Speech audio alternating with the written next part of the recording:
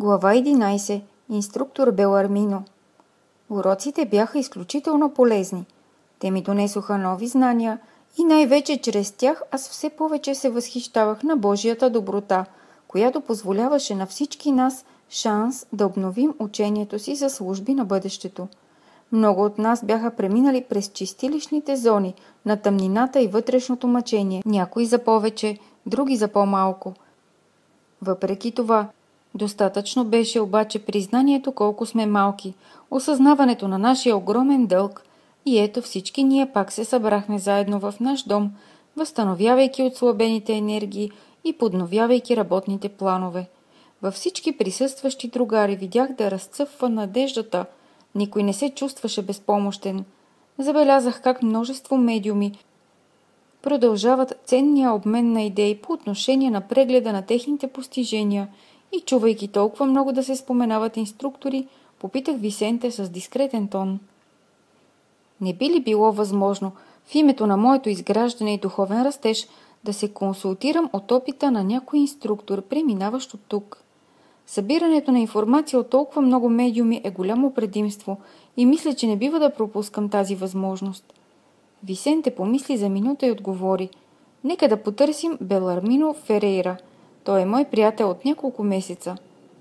Аз го последвах през различни групи. Белармино беше в един ъгъл и разговаряше с приятел. Имаше сериозно лице, бавни жестове, а смирените му очи издаваха голяма тъга. Висенте ме представи мило, давайки начало на един поучителен разговор. След като размениха някои концепции, Белармино каза прочувствено. И така, приятелю, Желаете да узнаете горчивината на един провален инструктор. Не казвам това, успях да се усмихна. Бих искал да чуя вашия опит и също да се възползвам и от вашите поучителни думи. Ферейра направи една усмивка на сила, която изразяваше цялото огорчение, което все още изгаряше душата му и каза Мисията на инструктора е много сериозна за който и да е човек. Не без причина званието учител – беше дадено на нашия Господ Исус. Едва тук успях достатъчно да разгледам тази дълбока истина. Медитирах много, размишлявах интензивно и стигнах до заключението, че за да постигнем едно славно възкресение, за момента няма друг път, освен този, който е вървял Божествения учител. Забележително е да споменем неговото поведение, който се въздържа от всякакво поробване от земните блага. Не виждаме ли Господ в Евангелието – как прави само добро, учи на любов, запалва светлината и разпространява истината. Никога ли не сте мислили за това? След дълги медитации аз стигнах до знанието, че в човешкия живот, паралелно с тези, които управляват и тези, които се подчиняват, има и такива, които преподават. Това ме отведе до заключението, че в сферите на земната повърхност има економи, сътрудници и слуги – Специално тези, които преподават, трябва да бъдат от последната категория. Разбирате ли, братко? Ах, да, бях разбрал перфектно. Преценката на Белармино беше дълбока, неопровержима. Всъщност, аз никога не бях чувал толкова красиви идеи по отношение на образователната мисия. След една кратка почивка той продължи отново сериозен. Със сигурност е странно, че се провалих, знайки толкова много – Моята мъчна трагедия обаче е същата като на всички, които познават доброто, но забравят да го практикуват. Той отново замълча, помисли, помисли и продължи. Преди много години аз напуснах наш дом с задачата да преподавам в областта на евангелския спиритизъм. Обещанията ми тук бяха огромни. Моята самоотвержена Елиса беше готова да ме придружи в моята тежка служба. Тя щеше да бъде моя предана съпруга, благословена приятелка за винаги. Моята задача щеше да се състои в усърдна работа по Евангелието на Господ, по такъв начин, че да възпитавам първо чрез своя пример, а след това чрез Словото. Две важни колонии в съседство на наш дом изпратиха мнозина служители като медиуми и помолиха нашия губернатор да сътрудничи, като изпрати компетентни мисионери да ги учат и напътстват. Независимо от моето изтерзано от вина минало, кандидатствах за позицията с поръчителство – от министър Жедеао, който не се поколеба да ми помогне. Аз трябваше да изпълнявам дейности, свързани с моето лично спасение и да помагам в почетната задача да излъчвам светлина върху нашите братя от видимите и невидимите равнини. Преди всичко поех върху себе си отговорността да подкрепям медиумни организации, окоръжавайки моите другари в борбата, които бяха поставени на земята да служат на идеята за безсмъртието. Обаче, приятелю, аз не успях да избягам от вплитащата мрежа от изкушения. Още от дете родителите ми помогнаха с успокояващите и градивни представи на християнския спиритизъм. Разнообразни обстоятелства, които ми се сториха случайни, доведоха усилията ми до положението на президент на една голяма спиритистка група. И отваряме една любопитна скоба. По времето на Кардек за спиритизма в Бразилия се знаеше много малко. Нямаше такова нещо като спиритистка група. Това бяха семейни събирания. С течение на времето се появи и спиритистката група. Всяка група си има свой духовен водач. По това време имало две различни течения – научно и религиозно. Последователите на научното течение изучавали само книга на духовете и книга на медиумите. Те смятали, че Евангелието не е необходимо. Интересна подробност е, че до днес тази научна тенденция е силна във Франция и до днес те не се молят при провеждането на сеанси. Обикновено те се позовават на Върховния Бог и само на това. Групите се страхуват да говорят за християнството. Когато Кардек публикува Евангелието според спиритизма, той беше обвинен от спиритисти, че прави реверанс на католическата църква – но точно в този момент католическата църква се обърна по-строго срещу спиритизма, защото вярваше, че Кардек се намесва в нейните дела, тъй като смята Евангелията за територия на католическата и протестантската църква. До тогава католическата църква не бе толкова ожесточена против спиритизма, дори имаше свещеници и пастори, които изучаваха спиритизма.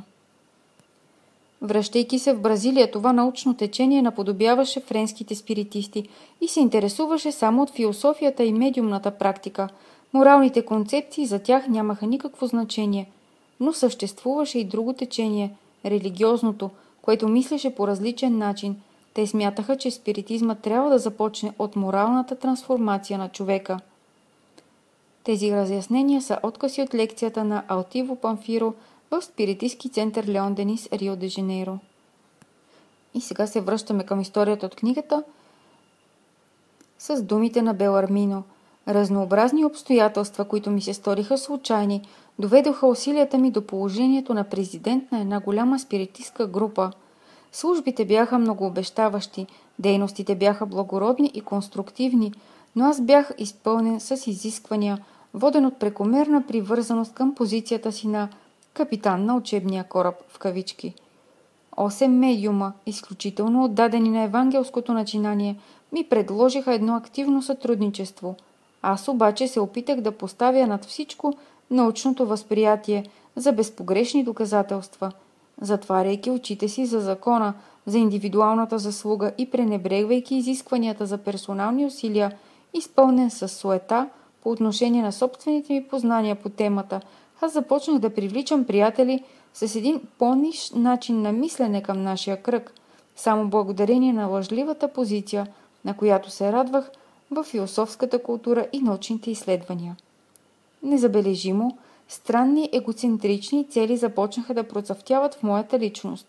Новите ми приятели искаха всякакви по вид демонстрации и нетърпелив да привлека сътрудници в сферата на науката, аз изисках от бедните медиуми да предприемат множество дълги и напрегнати проучвания в невидимите сфери. Резултатът винаги беше отрицателен, защото всеки човек ще получава сега и за в бъдеще в съответствие със своите собствени дела. Отваряме скоба за пояснение. Простия факт, че сме решили да провеждаме проучване, независимо поради какви амбиции или цели, не ни прави автоматично заслужаващи отговор от духовния свят – само според заслугите се получават и резултатите. На всеки му според делата му е доста често пренебрегван духовен закон в средите на изследователите на духовното, които често търсят сензацията и личното облагодетелстване от духовната информация.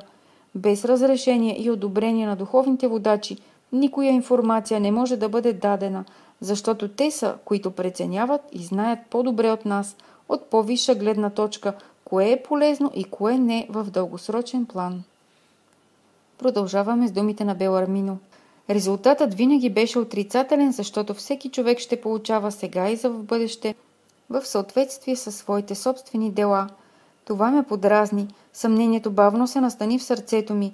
В следващия момент изгубих спокойствието си. Започнах да виждам медиумите, които се отдръпваха при моите капризи, недобронамерени и недобросъвестни спътници.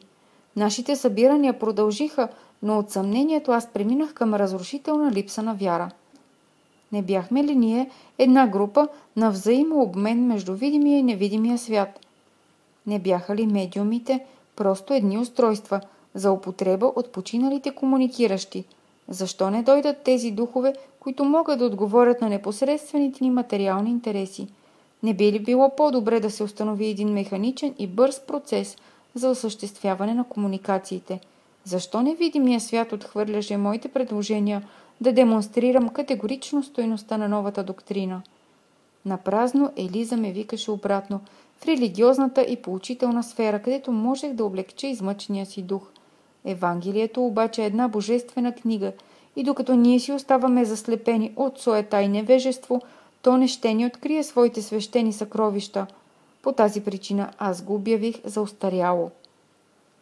Преминавах от едно бедствие на друго и преди да се захвана с мисията си да преподавам, брилянтните ми приятели от нищото ми словно поле на земята ме бяха завлегли към тотален негативизъм. От нашата християнска група, където можех да изградя едни вечни конструкции, аз се прехвърлих към политиката – но не към онази, която издига духовно, а към по-нищата политика, която възпрепятства общия напредък и създава объркване в инкарнираните духове. И така спрях за дълго време, отклонил се от основните си цели, защото рубуването на парите беше променило чувствата ми.